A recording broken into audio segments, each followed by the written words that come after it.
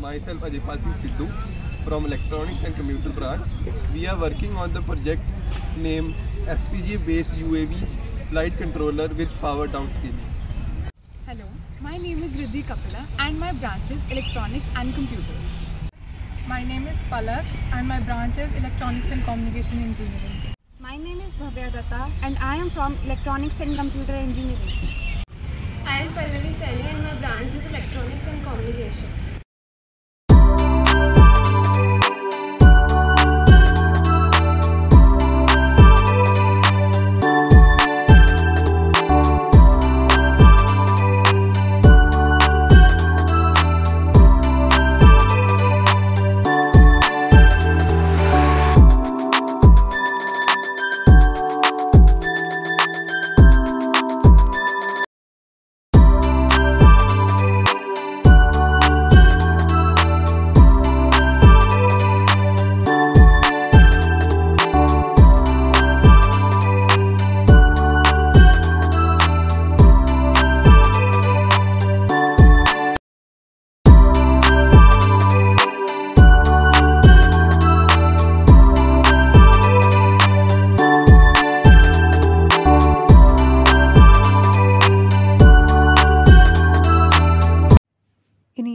Test the PID algorithm, which is used to maintain stability by applying a disbalance in one of the arm in order to check if it returns to its initial position.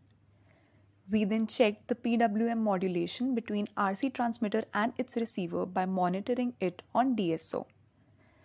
We are measuring voltage of the drone battery using a voltage divider circuit with ESP32 microcontroller and then we can further monitor it in the real time using the Blynk application on our mobile phone.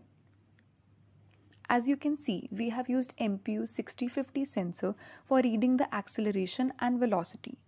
It has its 5 pins connected which are VCC, ground, serial clock, serial data and interrupt it gets its power supply from the power distribution board, which further gets its power supply from ESCs connected with the battery. The power distribution board provides supply to camera and ESP32 module along with which it has the power supply to FPGA and RC receiver.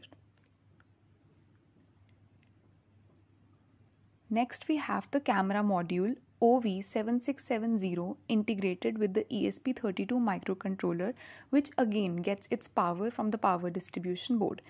The camera circuit is placed at the front side of our drone in order to capture images and recordings and send it to the laptop or phone through ESP's Wi Fi module.